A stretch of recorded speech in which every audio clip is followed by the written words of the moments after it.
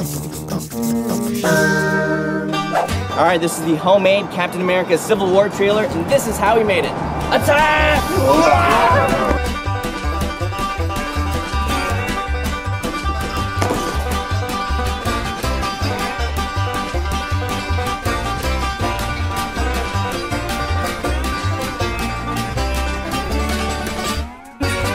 What's up everybody? Dustin here. As you may know, Ben and Bianca just had a baby, so I'm filling in for this month's Homemade Movies episode, and it's actually been about two and a half years since I directed my own episode, so it was a lot of fun to dig back into it. So this is a pretty complicated shoot because there's so many people in it and so many costumes, so there's a lot of planning going into who was coming and going at which time and when I had to have the costumes made. So the first costume I made for this was Captain America. You can see the whole build in my episode of DIY Costume Squad that just came out last week, and I give you all the details on that. But essentially it was just finding some clothes at a thrift store and then adding some pieces of EVA foam and spray painting and making the helmet and made a new shield. Now I made this costume a little bit bigger so it fits on our friend Michael. Michael was just in Ben's homemade He-Man episode and he's got a real great physique and I thought that he would make a good Captain America. Yeah, dude, okay, see, it like, it works, it's a tight fit. It was so baggy on me.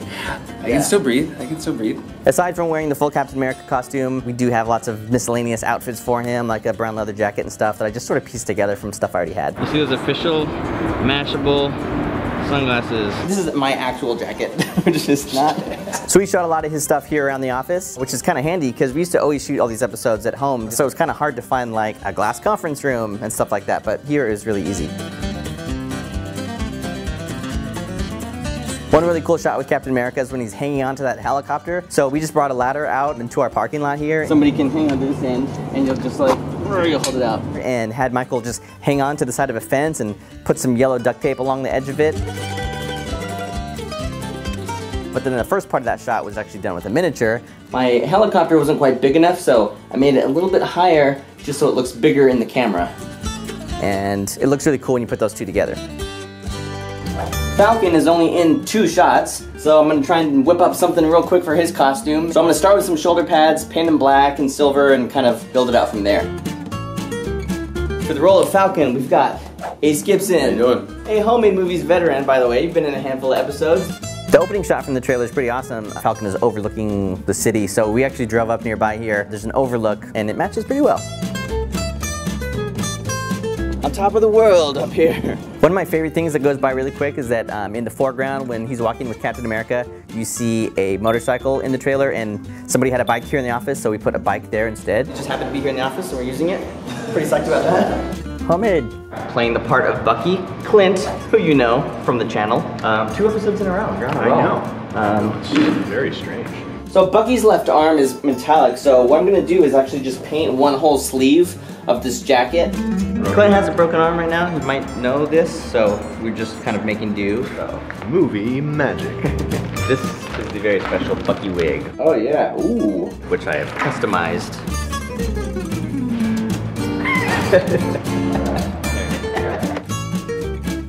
Action.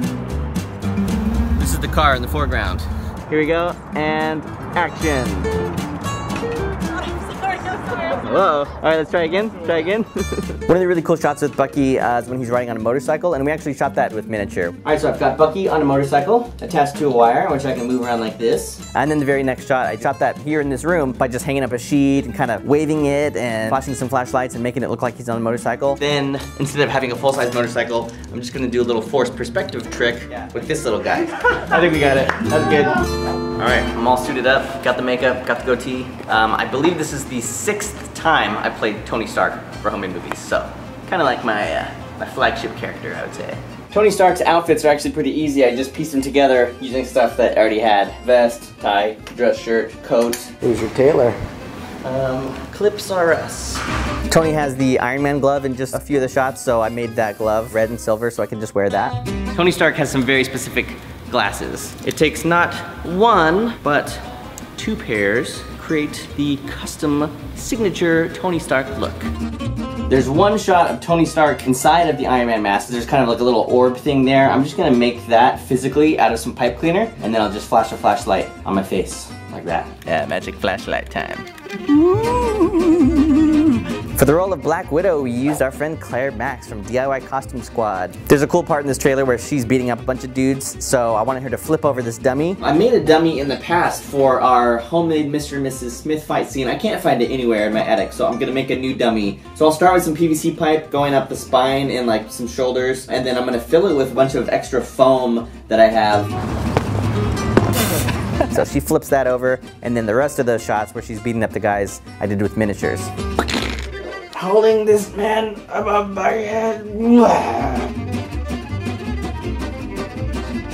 Playing the role of Hawkeye is our buddy Cameron, who works here in the office in the sales department, and I thought he kind of had a Hawkeye vibe, so he uh, graciously played this role for me. And then you guys, check this out. I found this at the thrift store, like, as is. Oh, and I just had to buy it, because I knew it would come in handy. I'm gonna make one of these gloves into Hawkeye's little special glove. I'm gonna make a bunch of arrows that kind of just stick out. We never really see it from the back, so I really only have to make this much of them. So I'll just make a handful of those out of some wooden doweling, and I'll just make a bunch of little feathers out of um, craft foam.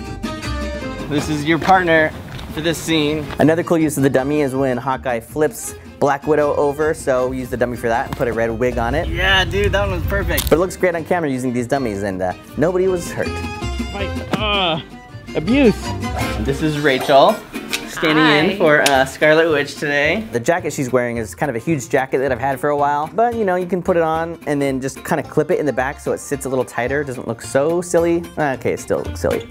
And then there in this shot where it looks like a plane has crashed in the background. So I went ahead and made this whole 2D facade in the background, just cut it out of cardboard, painted it like fire and an airplane, and just put it back on the road behind them.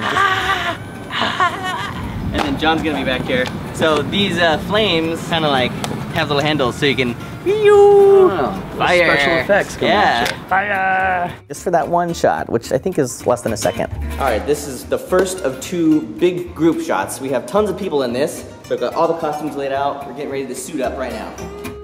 All right, so I've got Ant-Man in just one shot, live action. So, borrowed this from Ben. He, of course, made this in an episode of Homemade How To. But it's kind of in shambles right now, so I'm gonna try and just uh, touch it up and make it camera ready. Recruiting John to play Ant-Man. Is this your on-screen Homie movie debut? As like an actual character? Yeah. This is the front, right? Yeah. So we went out in the parking lot and got that group shot. Now the other big group shot, we've got Black Widow just kind of wearing a black jacket, and we have Iron Man. Now, I initially made the full Iron Man costume for our very first Homemade Movies episode, and that was nearly four years ago. So basically, one by one, as I go through these pieces, I'm realizing that not a single one of them works for this costume because they're completely different colors. I've got the helmet. As long as I fix the helmet up, I think I'm gonna have to just kind of quickly build the rest of this from scratch. I think I'll just put some gold pieces on top of a red sweater and then make a new chest piece. Okay, War Machine. Well, I'm gonna start with a football shoulder pad rig, paint it black, over a black hoodie, so that way I can just use the black hood.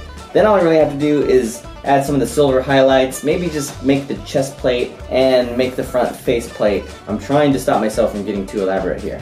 Okay, Black Panther's mask. I'm gonna use this spandex black hood and then draw all the details on with this white wax pencil and then I'll make something for his little necklace there, black shirt. That's all you need. You only see it from here up for like a split second.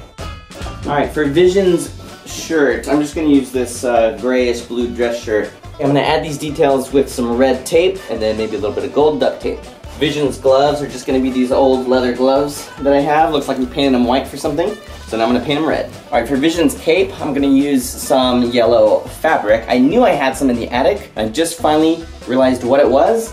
It was this big ball of flames that we made for the Mr. and Mrs. Smith scene. So I'm gonna just tear it apart and take the yellow part out and make a cape out of it. All right, so I'm just blocking off the areas that I want to stay red, and the rest I'm gonna spray paint silver.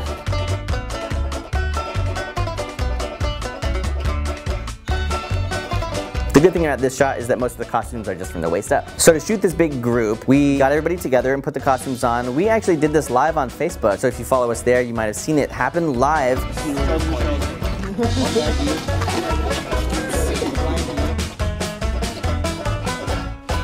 Vision's kind of in the background, like floating down to the ground. So John is up on a step ladder. So that way when we say action, he can just kind of like step down a step and it looks like he's landing. All right, I think we got it. All right! John the whole time. The rest of the trailer was done entirely with miniatures, so I had a lot of action figures to make, pretty much all of these characters all over again as little G.I. Joe sized characters. Some of them I was able to just buy as is, and then other ones I just kind of made from scratch using old G.I. Joes that I had and kind of modified them with paint and stuff. Ben made this awesome little Ant-Man for his Ant-Man trailer. He needs a little help, he kind of fell apart.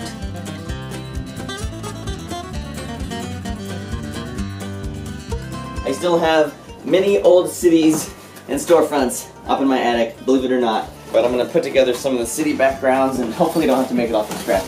When putting these shots together, I kind of just make whatever background pieces I need. Maybe it's like a truck or some bushes or something. And then to move the action figures around, I always attach them to coat hangers and just bend them just the right way and hot glue them in there so you can just kind of control them like puppets.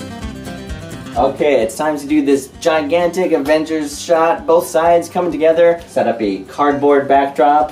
It's uh, 11 action figures and they're flying towards each other and running towards each other. I'm gonna be holding the camera and I've got Iron Man because he kind of moves different than everybody else.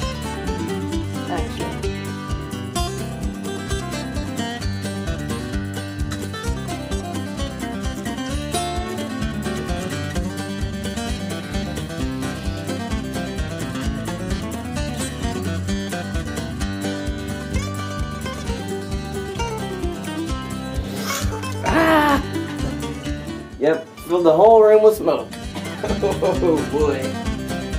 Alright, so this shot of Captain America blasting down the hallway, I'm gonna shoot it sideways so that we'll have an explosion behind him and then we'll just drop a whole bunch of confetti.